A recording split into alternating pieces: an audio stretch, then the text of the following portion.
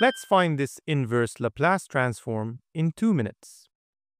The objective is to manipulate this into a form that is readily available in a standard table of transforms. We'll do this by first factoring an s from the denominator. And then we'll break this into partial fractions.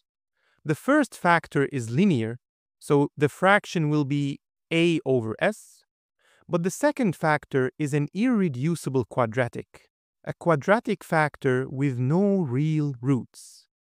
The numerator for this type of factor is a linear function of s.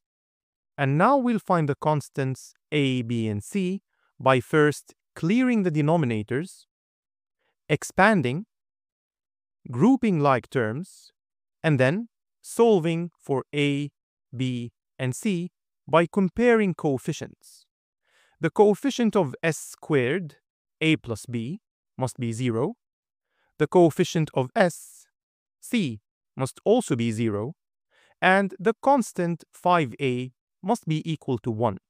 This gives us a equals 1 fifth. So, from the first equation, b must be negative 1 fifth. And now, we'll substitute those values and perhaps factor a 1 over 5 outside.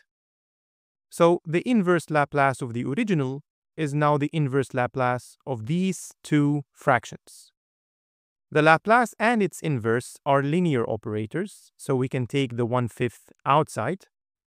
And now we have two fractions whose inverse Laplace is readily available in a table. The inverse Laplace of 1 over s is 1, and the second term is a cosine. So this will be the result. 1 over 5 minus 1 over 5 cosine radical 5 t. And that's the final answer.